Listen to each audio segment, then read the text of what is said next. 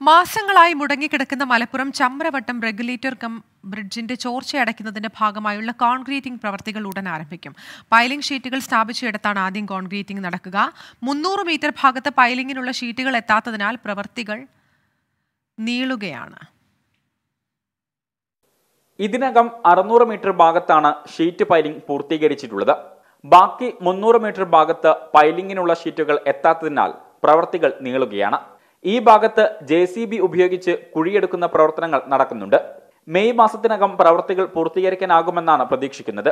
റെഗുലേറ്ററിന്റെ ഇരുന്നൂറ്റി അമ്പത് മീറ്റർ നീളത്തിൽ അഞ്ച് ദശാംശം അഞ്ച് മീറ്റർ ആഴത്തിലാണ് മുകൾ ഭാഗത്ത് ഷീറ്റുകൾ സ്ഥാപിക്കുന്നത്.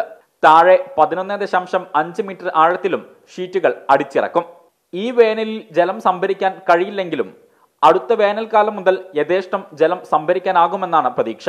വർഷകാലത്തെ പുഴയിലെ സമൃദ്ധമായ വെള്ളം തടഞ്ഞു നിർത്താൻ ഷീറ്റ് പൈലിംഗ് പൂർത്തിയാകുന്നതോടെ സാധിക്കും. ഇതോടെ ചോർച്ചയ്ക്ക് ശാശ്വത പരിഹാരം കാണാൻ കഴിയുമെന്നാണ് പ്രതീക്ഷ. റെഗുലേറ്റർ കം ബ്രിഡ്ജ് പത്ത് വർഷം മുൻപ് ഉദ്ഘാടനം ചെയ്തെങ്കിലും പൈലിംഗിനിടയിലൂടെ ചോർച്ച സംഭവിച്ചതിനാൽ പദ്ധതി പൂർണ അർത്ഥത്തിൽ നടപ്പാക്കാനായിരുന്നില്ല.